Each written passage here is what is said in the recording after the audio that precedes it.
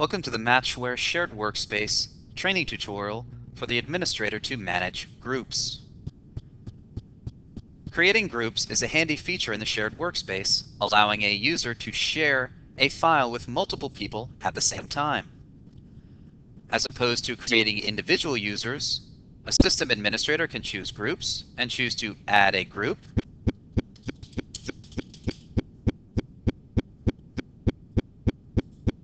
I can then choose to add members to that group by selecting the group by name, choose Add Users, select the specific users that I want to belong to that group, and choose Invite.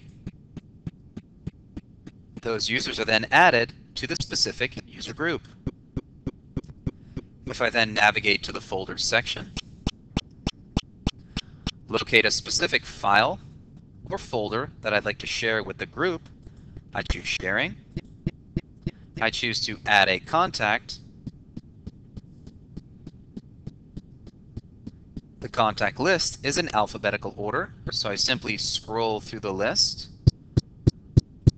locate the My Team group, and grant the group read or write access to the file.